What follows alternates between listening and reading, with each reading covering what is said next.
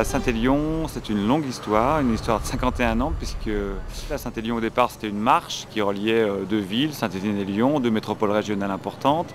Au départ c'était une marche entre amis pour qu'un club de cyclistes aille rendre visite à un autre club de cyclistes l'hiver au mois de décembre à la saison creuse. Et d'année en année c'est devenu une course euh, pédestre, il était interdit de courir à l'époque mais très prisée. Dans les années 70, avec l'avènement du jogging, on a autorisé les gens à courir. C'est devenu une épreuve euh, de course à pied euh, importante en France. je rappelle quand même qu'il s'agit d'un parcours de 68 km avec près de 1300-1500 mètres de dénivelé qui se court à 50% sur bitume, à 50% sur chemin et le tout la nuit.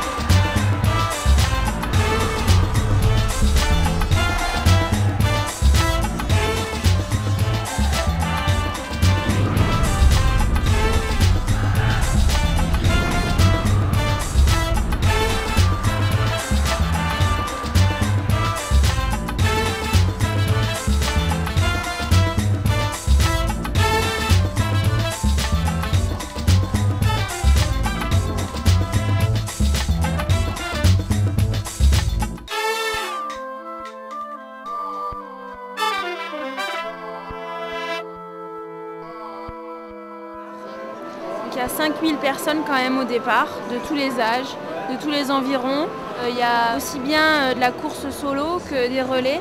Donc ça permet à des gens qui ne courent pas forcément euh, des longues distances de participer parce que ça fait quand même 70 bornes. Saint-Étienne-Lyon, quoi. Faut se le faire. En plus la nuit.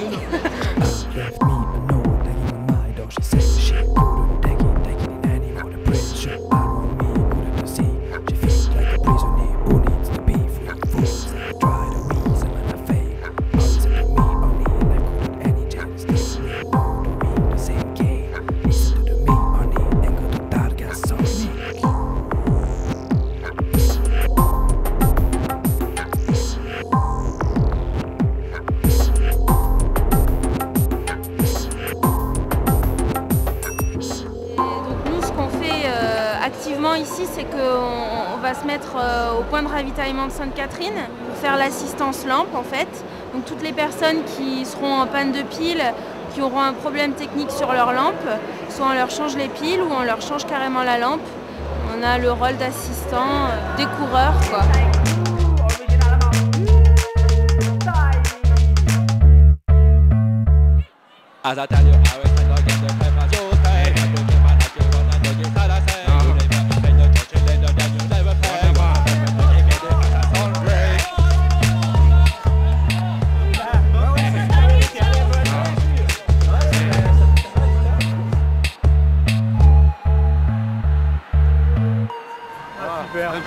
Ça y est, on est chaud maintenant.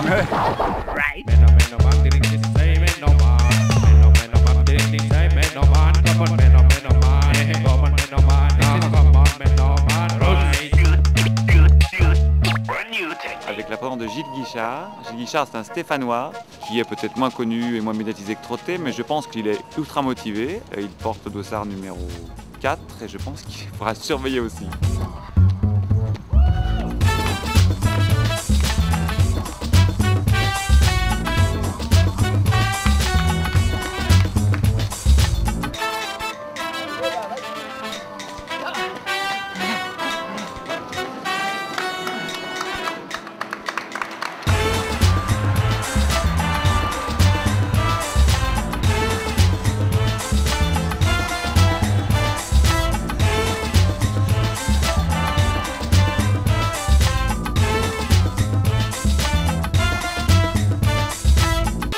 J'avais pas l'entraînement, euh, je m'attendais pas du tout à ça. De loin, de loin, de loin. Je suis content, je le dédie à mon fils qui a eu 12 euh, ans hier. Il y a quelqu'un qui est parti.